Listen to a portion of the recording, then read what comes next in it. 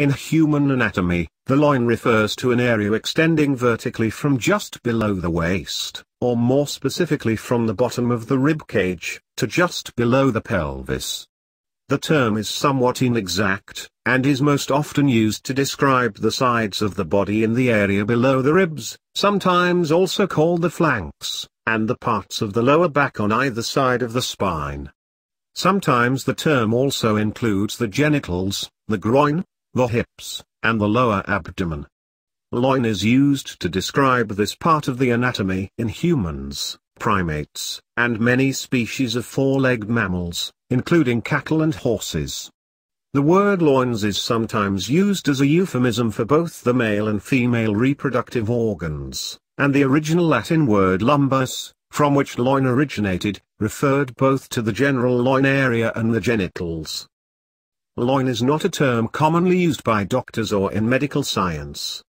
In the field of medicine, the term lumbar region is more commonly used to describe a similar, though not identical, area of the body. This part of the body includes the major psoas muscle, a large muscle that is used for example when one is sitting up or bending down and is also involved in hip movement. The lumbar vertebrae, numbered as L1 L5, are also located in the loin area.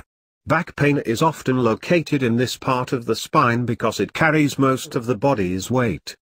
Even though the word loin is not commonly used as an anatomical term in medicine, the word is included in the names of some disorders, for example loin pain hematuria syndrome. The two main symptoms of this syndrome are pain in the loins and blood in the urine. It is not fully understood what causes the pain associated with this syndrome, but it is thought to be related to the kidneys. Pain in the loins is commonly caused by problems related to the kidneys, such as kidney stones and renal colic, or by problems related to the ureter, meaning the tubes that carry urine from the kidneys to the bladder. The reason for this is that the nerves from the ureter enter the spinal cord in the lumbar region, other causes of pain in the loins are injuries to the muscles or vertebrae in the lumbar region, herpes zoster, and radiculitis, a type of nerve pain that often affects the sciatic nerve.